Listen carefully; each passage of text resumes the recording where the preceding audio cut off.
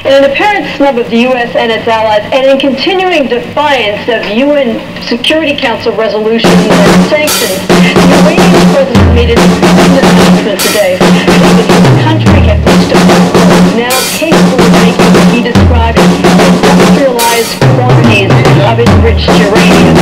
For the last year,